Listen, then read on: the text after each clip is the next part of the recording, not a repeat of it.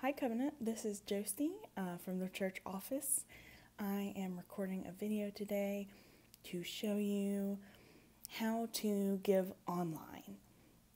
So, as you can see, we are starting on bcoc.net, our homepage, because that's the easiest way to get to e giving. I'm going to go to the right hand corner, far right, it says e giving. It's got a nice little circle click on that. And this is our e giving page.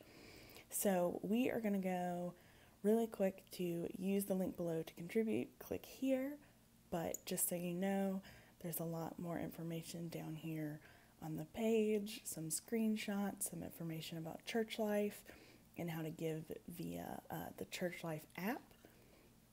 But today, we're just quickly going to go to our e giving website. So here we are on the special ACS website for giving to Baptist Church of the Covenant. As you can see here, you can put the amount you want to give. You can select the fund you want to give to. We've got the general fund, Rogers Fund, Music Fund. For our parkers who rent spaces, they click the parking rental, all different kinds of funds. so, be sure to check it out if you need to um, give to a specific fund.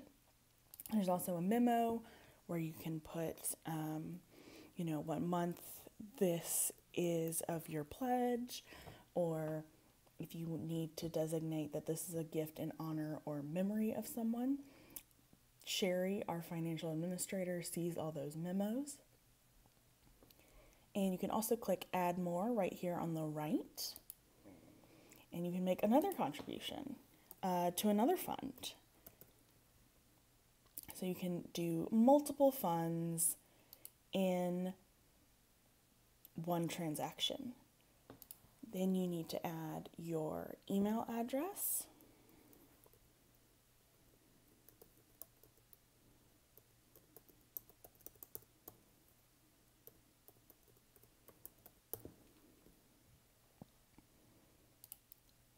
Continue.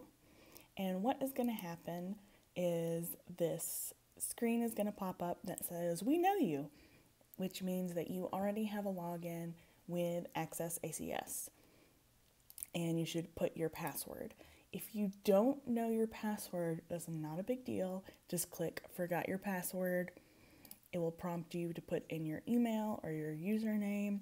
Generally, your username is your email uh, put in your email, send your email, and it'll send you a link where you can reset your password.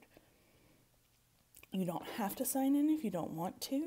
You can continue as a guest, but I would recommend signing in because this way, any contribution you make online will really easily be attributed to your contribution record for tax purposes. So I'm going to put in my password. And I guessed wrong. Let's try again. Nope. Ooh, this is embarrassing. I made this login specifically for this video and now I can't remember the password. Ah, we got in. Great. So uh, here you can see you, we can make this donation a one-time donation happening uh, today on the 2nd, or you can select once a week, every two weeks, once a month. If you want to set up giving your pledge online, you can make this a recurring gift. You can also, once you put in all of the details, for either your credit or debit card or a checking or a savings account. You can save it for future use and nickname it so that this is stored with your account so you don't have to pull out your card every single time you need to make a donation. And once you have finished that, just hit give and you should get a uh, confirmation that your gift has gone through. So, that is one of the really easy ways to give online. So we are back on the BCOC website to show you another way for you to get into ACS and give online. So you can go to our member page, which is up here at the top of the page on the right, not as far as e-giving, but just there. Click members. And right here, access ACS member database, that's where we want to go. Click again, and we are going to log in. We're going to use that same password as we used uh, during the first demonstration. This is the password you use when you need to log into church life. And it, again, it's not a problem if you don't remember your password. Click the link. It works like every other website where it will email you and send you a link where you can reset it. You can also contact me in the church office and I can help you out. If you um, don't have a login, this page is great for that because just click there. You'll put in your email address, your first and last name, and it'll hit find me. And this will find you in our database and link uh, this email address with um, your database record. And it will send you, ACS will send you a link to set up a password and all that jazz. So we're going to go back here and enter our password. And now I know what it is. I think.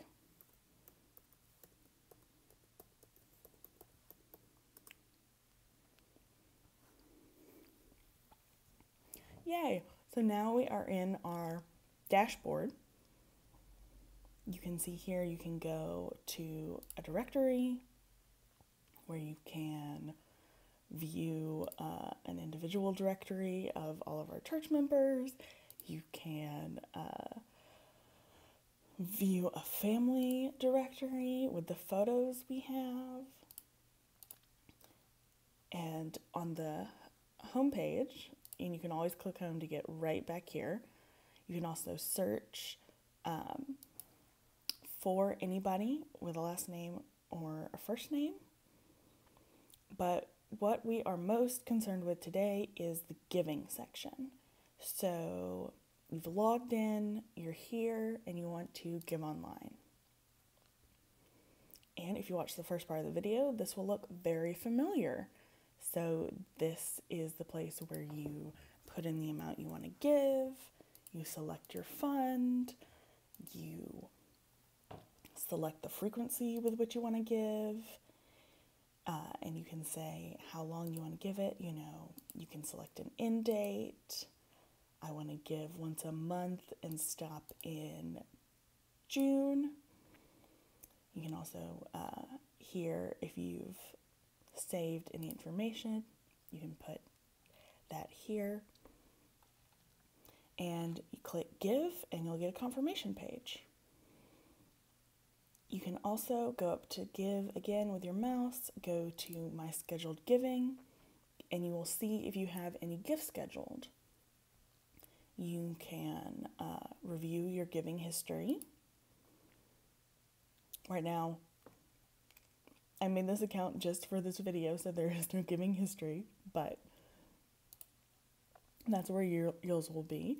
Uh, you can manage your payment methods uh, where you've saved, you know, a checking account, savings account, debit card. You can delete and add those here.